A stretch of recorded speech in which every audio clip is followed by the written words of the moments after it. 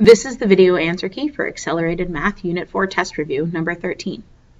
The sale price for a bicycle is $315.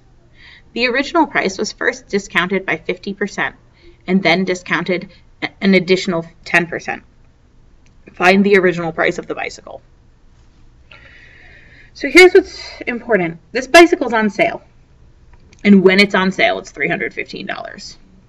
We don't know the original price, so we're kind of working backwards. But it was first discounted by 50%. And then after that, it was discounted an additional 10%. And I want to find the original price.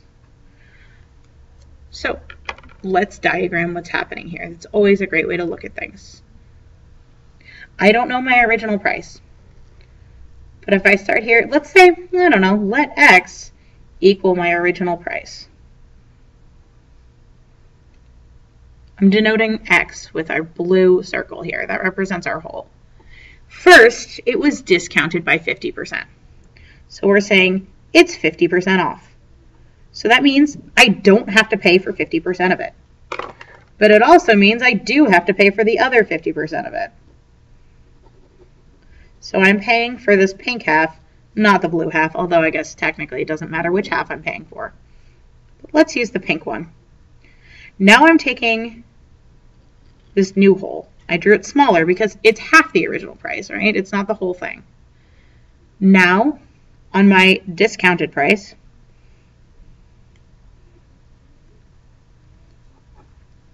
it's discounted an additional 10%.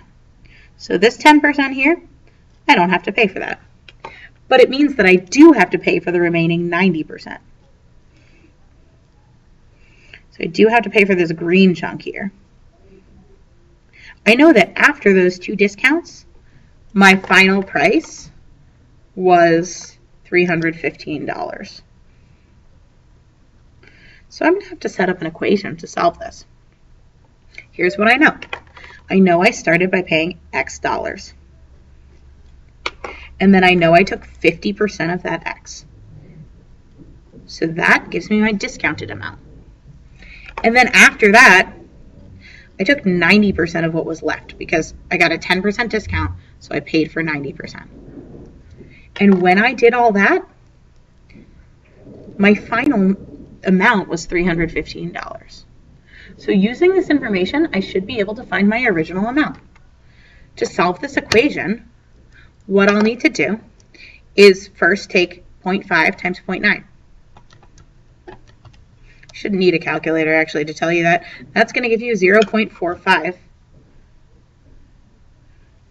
times x. And that value is equal to 315. To finish isolating x, I need to divide both sides by 0.45.